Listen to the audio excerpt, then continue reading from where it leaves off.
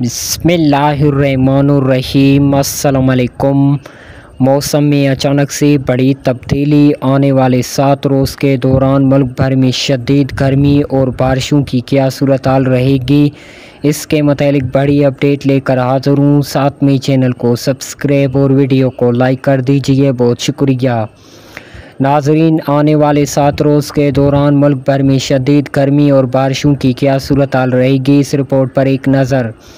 آنے والے سات روز کے دوران ملک بھر کے اکثر علاقوں میں موسم خشک اور شدید ترین گرم رہنے کا امکان ایک کم شدت کا سلسلہ ملک کے بالائی علاقوں کو متاثر کرے گا؟ یکم جون تک سلسلے سے امید ہے کہ اسلام آباد سمیت بالائی شمالی پنجاب پشاور سوات، چترال سمیت خیبر پختونخوا کے اکثر علاقوں، کشمیر، گلگت بلستان میں تیز ہواؤں آندھی، گرج چمک کے ساتھ بارش کا امکان ہے؟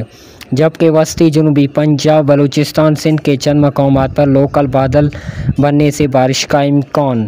ایک اور شدید گرمی کی نئی لہر تین جون سے داخل ہوگی، جس کے بعد ایک مرتبہ پھر سے ملک کے جنوبی میدانی وسطی علاقوں میں سندھ، پنجاب، خیبر پختونخوا، بلوچستان میں شدید گرمی پڑنے کی توقع ہے۔ درجہ حرارت مزید پچاس ڈگری سینٹی گریڈ تک تجاویز کر سکتے ہیں۔